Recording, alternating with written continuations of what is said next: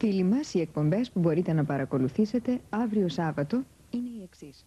Στις 2 και 10 το μεσημέρι θα παρακολουθήσετε το Western κεραυνός στο Timberland. Γυρίστηκε το 1960 από τον Robert Webb. Παίζουν Alan Land, Gene Crane και άλλοι. Αρχίζει αύριο στις 7 και 25 η γνωστή σειρά με χιούμορ και περιπέτεια «Αυτός, αυτή και τα μυστήρια». Παίζουν Bruce Willis, Sybil Shepard και άλλοι. Στις 8 και 25 μπορείτε να δείτε το τρίτο επεισόδιο της ελληνικής χιουμοριστικής σειράς «Το πίδημα του Βατράχου».